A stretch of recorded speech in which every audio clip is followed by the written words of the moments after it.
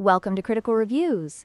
Today we're diving into the Sparkle Intel Arc, a 380, a graphics card that has stirred quite a buzz in the market.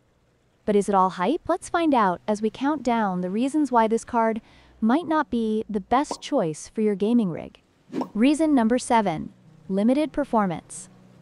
While the Sparkle Intel Arc A380 is marketed as a gaming graphics card, it struggles to keep up with more demanding titles. Gamers looking for high frame rates at 1080p may find themselves disappointed.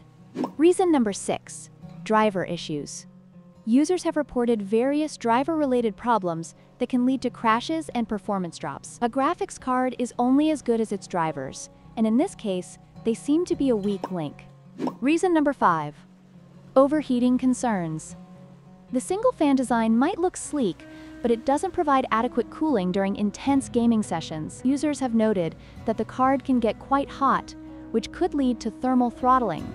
Reason number 4. Mediocre build quality.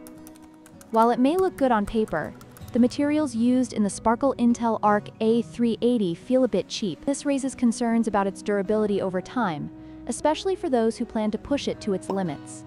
Reason number 3. Limited VRAM. With only 6GB of GDDR6 memory, the A380 may struggle with more modern games that require higher memory bandwidth. This limitation can hinder performance in memory-intensive applications. Reason number 2. Lack of ray tracing support.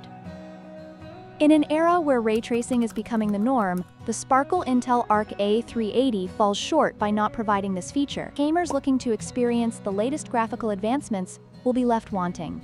And finally, reason number one, price versus performance. At a price point of around $119, the A380 may seem like a good deal, but when compared to its competitors, it doesn't deliver the performance you would expect for that price. There are better options available, that offer more bang for your buck.